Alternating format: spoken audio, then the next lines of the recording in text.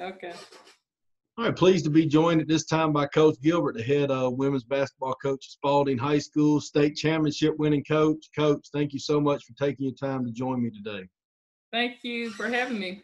Yeah, absolutely. Excited to hear about what you guys do. You know, we we started this um, this whatever it is now for me, the little side business, uh, to help coaches of all sports, and, and I really feel like this culture piece, especially, is is one that's true for all sports, all genders, you know, all the things we're talking about. So I know when I was a head football coach, I could learn a lot from a, a successful cross country coach, a successful uh, women's basketball coach, anything like that. So really excited to hear what you got to say. But before we get started, uh, tell anybody listening about this. We got some people listening live, and then we'll have way more listening on the replay.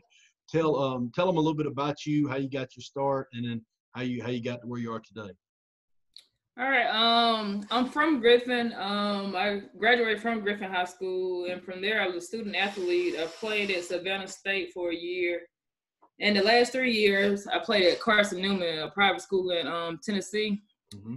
And actually, I started coaching um, my senior year in high school. Um, I coached my sister's rec team, so had some experience and from there on i knew i wanted to coach so i had an opportunity to come home and coach from uh, for a local AU team uh, with one of my assistant coaches matter of fact that started that program in griffin and um, from there on um, I I coached um, at Spalding High School. I was an assistant for two years, and from I left and I was a head middle school coach for two years. And I've been at Spalding High School for the last five years, so that's mm. kind of a, a, background of my coaching coaching experience. So now tell them a minute because I know you ain't gonna you're not gonna want to brag on yourself, so I'm gonna have to make it. so tell tell anybody listening to this that's not from Georgia or maybe not familiar with your school, how what what all have you all accomplished the last five years? Um, the last five years, the first year, um, my first year as a head coach, we um made the state tournament, the playoff for the first time in six years. Um, and we played um the first round versus Americus. Um, that second year we went to the Elite Eight. Um, and we lost to Columbus. So we lost to Americus the first year, which they ended up winning the um state that year. The second year we lost to Columbus, and they ended up winning um that year. And we knew we were close and that following year, the third year, that's when we um, accomplished our goals by winning the state championship. And we played Henry County. And the next year, we went back to the championship. We lost um, against Carver Columbus, um, which we had beaten the year before in the Final Four. And this past year, we lost to Americus again in the Elite Eight, and they ended up winning uh, the 4A state championship. So I mean, that's what you know. That's what I wanted people to hear that didn't know as they listen forward. You know, here's a a, a person who took over as a coach five years ago, and you know, four of those five years basically in the final eight, uh, one state championship, one runner up. Uh, coach, you should be proud. Before we even get started, you should be really proud of that. You know, I coached a long time. I didn't have I didn't have near that success. So um, congratulations you. to you. That that's really really cool. Um, but obviously, y'all, y'all see what I like to hear about that. You did it with more than one group of kids too, because when you're doing that four consecutive years, you're doing it with a few different groups of kids. Sometimes people can win when they get really, really, you know, the right mix of a great group and they can win. But to build this culture, we're talking about doing it over an extended period of time. And so um, that's what we're going to talk about today. Uh, what we came up with in studying places that have great culture and yours is one of them. We felt like they have all these things. There's at least a plan in place for all these things. Now you don't have to be the same. It doesn't have to be the same plan as everybody else, but they have a plan, a detailed culture, a way they do things in each one of these. So I'm going to ask you about each one of them for a minute. But what do you guys do at Spalding to to help player development? Uh, first, I think it starts. Well, it it definitely starts in the preseason and in the summer workouts. You know, you know, it's not gonna start automatically. You know, we're not gonna. You know, we're lucky to have kids that you know have the skills, but as far as developing, you know, we just grind it out. You know, we take time in um, developing our guards and posts. Um, I do things where I have my post my post coach and my guard coach. We split up. Um, they focus on more of the post, and the guard coach will focus more on the guard. So, and during that, so they um we focus on their um their post and guard work. So and during that time I have opportunity for them to switch and so where everyone can, you know, learn and develop some of the same skills. So we just grind it out. Yeah, work. uh, do your girl do does your team lift during the year, all year, part of the year? What do you guys do with the, as far as the weight room goes? As far as the weight room, we uh we do lift in summertime. Um and I have opportunity at my school where we I can um, get my girls because I coach PE at the high school, and I have opportunity for my girls to um, get into a weight training class. This past year, um, they um, let the weight training coach um, work them out, but in the past it was me um, in that weight training class. So we, for the first semester, we do lift did you feel like that's one of the things that gives you all an advantage a little bit, uh, having them all in the class and being in PE with them? Oh yeah, because it builds like the camaraderie. The girls are always around each other, and it gives me an opportunity, you know, to build a better, a closer relationship with them, and just, you know, I it's a time that we can watch film and stuff, so that's a, yeah, a huge Absolutely. advantage. Absolutely. When um every sport's a little different on this next one because you have different number of coaches. But in basketball, you guys probably only have a few assistants compared to football. But what is your plan for developing coaches, even yourself, include yourself in that? What do you all do all year for staff development to make yourselves better uh, as coaches? Um, the first thing I just think about, you know, everyone being on the same page, um, letting my assistant know, assistants know my expectations, you know, let them know what we're gonna work on, what I'm looking for, um, and just by just using each other ideas, you know, getting better because you know, it, of course, I'm learning and I'm learning from the coach beside me. You know, it's just a circle. We just a we have a good. I have a good group of um assistant coaches and we just share ideas. Um, I'm not the type of coach. it's it's my way or the highway. I am very open for my assistant coaches, and I'm always learning from them. Awesome, awesome answer. Um, what about with parents? And, and you know, when I say parents, I think that can go a lot of different ways with some coaches, or they hear that a different way. I mean, working with parents, meaning some of the stuff you all have to do for fundraising, but also when they do have a problem, and there is an issue, which there inevitably always is. What is yeah. the culture? What's, what, what's the culture at Spalding that you try to create on how we're going to deal with booster club parents, things like that? Um, in the beginning, I always have a parent um meeting, and I tell them I have an open line of communication. You know, anytime you have a problem, um, after practice, I'm always there, and um, my cell phone, I give them my cell phone. You know, whenever it's a problem, if it's a problem that I know I have to solve, more than likely I will contact. In the past, I've contacted the coach, and we, you know, set up a meeting, you know, to solve like the problem, whatever issue that we're having. Mm-hmm. No, and that's I think that being preemptive on that is always big. You know, just going and helping out. Because one thing I hope people are listening get out of that part was here's a team that for six years in a row didn't make the playoffs. They get a new coach. They go to the final eight four years in a row do y'all still have problems? Oh yeah. Yeah. So, okay. but you know what I'm asking that because some people are some people are struggling with their team right now. Some people are watching mm-hmm. this and they're struggling with their team right now, and they probably think if I could just be like Coach Gilbert, I would have no problems. Parents would love me. It doesn't work like that. Even the oh, teams no. that win every game, it just doesn't work like that. Uh, and so, you know, you've got to have a plan for that and be preemptive, meaning say as many things in your parent meeting be ahead of things. And that doesn't matter if you're undefeated or if you lost every game. You still got to have a plan for that. And, and I think people miss out on that sometimes, focusing on, you know, thinking that if they could win, that they wouldn't have these problems. And the truth is, you know, I could tell a ton of stories, not waste y'all's time on times where we won, and I, I thought, man, I've done a great job. I was patting myself on the back, and somebody was right there ready to remind me that I did. You know? always, yeah, always, always. So I just but, think of, um, just keeping a, a, clear line of communication, just continuing, um, just letting the not only the players but the parents knowing like knowing your expectations. Right. Like, yeah. You're gonna tolerate what you're not gonna tolerate. Yeah, and just being honest. I mean, I can tell just talking to you pretty upfront and honest with folks, and there's no reason to hide some of that stuff. Just say yeah. what you expect and hold them to that. What about when you guys practice, coach? What is what happens at your practice that maybe you think separates you from other teams, or or you think is something you do that's really helps create that culture that helps you win on Tuesday and Fridays?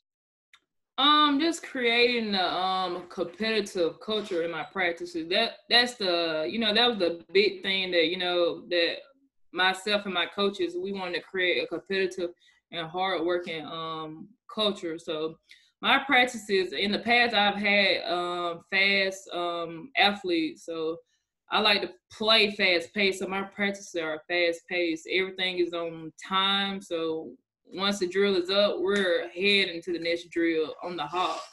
So that's something that um, I'm I'm huge on just time management, um, just creating a competitive and fast paced um, practice. Awesome. And I think it carries on to the game because you know if you practice fast, you're gonna play fast.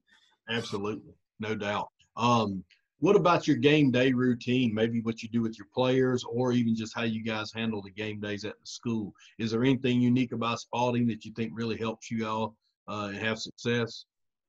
Um, I know this past year we have a, a class that is kind of like an advisement class, and my um, assistant principal allows me to, you know, get the girls during that time. And we, you know, conduct a shoot around, and that's something we do every game day. We do it during that time, and um, after school, my kids know I have a routine. So after school, we, we're eating pregame meals. You know, we're shooting free throws afterwards, um, handing out jerseys.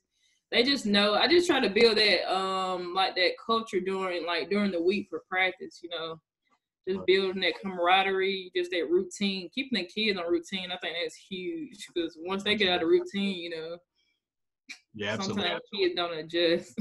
absolutely. Um, so coach you got these kids and, and they're winning the state championship or they're making it to the third fourth round of the playoffs uh, and they're playing on the varsity.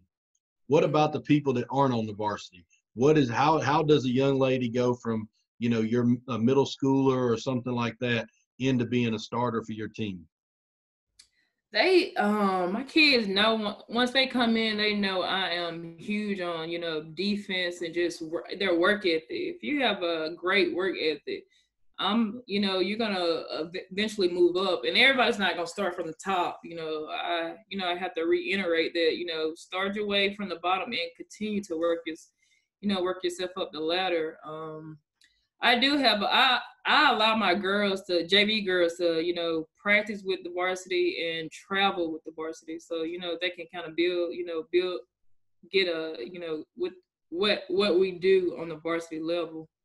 Right. Um, no, I think that's big. I mean, I just I think across sports, the places who have won and won over and over and over again, not just won one time, have uh put emphasis on their sub varsity programs. And there's at least every place is a little different on how they can do it because, you know, depending on how what your relationship is with how you work with middle schools or whatever.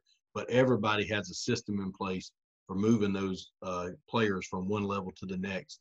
Uh, because, like I said, what's most impressive for me about what you all have done is you've been doing it four years in a row. You know, four years in a row deep in the playoffs in Georgia, where it's very competitive, and our that classification you're in is very competitive. There's a lot of good teams in it, and um, you're so you're having to do it with a lot of different types of kids. Is what I'm saying. It's not just you got one good guard and it took you to the elite eight one time, which is what happens a lot. But you guys are having to do it over and over again. So you have to be developing those JV kids. Uh, people have to be working with them at the middle school level. Um, there's just no other way around. Yeah. Coach, what what are y'all looking for for a leader on your team? I know the best teams always have a leader, so, yeah. what what what traits do you think make a good leader for a girls basketball team? Um, as far as for me, I'm looking for a kid that's you know gonna have you know the integrity, um, that's gonna always work ethic. I, I'm never gonna have to question their work ethic. You know, they're they're gonna be verbal. You know, and they can also be verbal by i mean non-verbal by just leading the team you know just you know some people just leave without being you know not being mm-hmm. vocal but um just someone that the kids look up that you know always doing right in the classroom also and you know just on the court just just overall good person. And the leader on the team you know it, it on my team it doesn't always have to be the, the um, leading scorer. So i'm looking for you know that hard working kid that you know just, just can make a difference just being positive. Absolutely uh, we talked about assist these are kind of traits we we uh, identified over the years of places that have winning cultures and we talked about assistant coaches we talked about some varsity teams what about a sense of urgency we felt like when we talked more and more to different people of different sports, the places that won year in, year out, there was a sense of urgency, like an, an intensity level that they had. How do you work to instill a sense of urgency in your team? Um, I think it's just my intense. Um, I I'm very intense during practice. Um, we just uh, I know myself and my assistant coach we are very competitive. We you know we hate losing, and just our just intense. You know, being intense in practice just I think that carries on. I think that builds a culture of, you know, our sense of urgency, you know, setting goals, what, you know, what we're aiming for just throughout the season. Um, I think, I think that plays a, huge part um, in my program. Absolutely. Coach, what, last question I got on these traits. What, uh, is there anything you all do to reward or award players for different things? Do y'all have any kind of things you all do like just among yourselves or you do publicly just to kind of reward kids that take charges or i don't know whatever it is uh, is there anything you all do that you think's different i know in the beginning um, the very first week of practice i know we um, do a one-on-one um, we meet with each kid individually and we just let them know our expectations you know what we're looking for um, and we're always praise in um in practices in locker rooms. So that's something that you know that we do. Absolutely, because I think nowadays, you know, with kids, they just don't have the same level of confidence that they yeah. may have had 20, 30 years ago. Even if even if they're acting like they do, the truth mm-hmm. is they really don't. And so. You know, the best teams have ways, even if it's informal. Sounds like yours a little more informal. I think there's nothing wrong with that. Formal or informal ways to praise these kids and promote the good things they're doing. Uh, nowadays, it's just kind of part of it. Doesn't matter if it's soccer, softball, basketball, football. Doesn't matter. Uh, anything kid- that I see on social media, I always try to post. You know. Mm-hmm. Yeah, absolutely. Get them out there. Yeah, I mean, I don't even like you wouldn't know it by following me, but I don't even like social media all that much. I just know the kind of uh, influence it can have to help. So I try to use my my stuff as a platform for something positive. But it you know you can do that if when i was coaching that was all i would do i was constantly putting stuff out there because that's how kids see it now it just is you got to meet them where they are you know and um that's part of it uh so you've had a real good run of success coach and and and for first five years i don't know if you could have asked for any uh you know any much better success than what you've had but what is something maybe that along the way you thought well if i had to do over again i would have done this different um, I don't think um I regret anything because you know every mistake you learn from it and you get better Absolutely. as a coach. So I don't regret anything. Um, I thank God, you know, placed me here for a reason. You know, and I'm just trying to, you know, it, you know, just give out my knowledge to the um kids and try to be a role model for them. Yes, ma'am. Yes, ma'am. What uh, what advice would you have for somebody that's listening to this? that maybe is an assistant girls basketball coach somewhere and aspires to be like you one day? What's something you would tell them they might need to be working on now so when their time comes they'll, they'll be ready? Um, my biggest thing just building relationship with the kids. You know, just um, I think once you build a relationship with the kids, I think the kids, uh, you know, uh, you know, they'll respect you, and I think they'll, you know, want to play hard and do whatever they can for you. Um, I just to you know have that winning culture it's not going to happen you know automatically you're going to have to work and develop it you know and it's not going to happen maybe in one year but you just got to you mm-hmm. know work and continue to grind um, continue to talk to other coaches um, to get different ideas you know just build relationships with other coaches.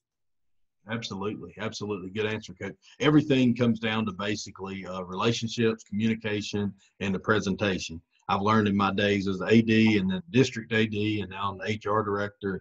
It didn't matter what job it was. Uh, the people who built relationships, the people who communicated well, and the people who could present their message and deliver it to people uh, in the way they intended always succeeded. And so it's obvious you're able to do those things. Uh, I really appreciate you if you guys got listening, got questions, you can ask them in the chat, and I can uh I can ask Coach if we need to. Uh, but I, you know, I personally want to thank you because it's uh it's important for us to hear from all the different sports. Uh, I think across gender, I don't think any of this stuff is different. I think it is what it is. You know, we talk about press defense another time, or we might can talk about how you would handle a male athlete versus female athlete. There might be some differences in the how you would handle, but the truth of this stuff of communicating, building relationships, all that is going to be the same. And uh, it's very important that people hear that and see that uh, from people who've won a lot like you have. Uh, so I appreciate you joining me. No, like nobody got a question. You did a great job explaining. And uh, if I can help you in any way, let me know. And um, look forward to talking to you again sometime, maybe. Thank you for having me. This is something different for me, and I'm glad that I um, participated. Thank you, Coach. Yeah, absolutely. Take, take care, Coach. We'll see you. All right, see you.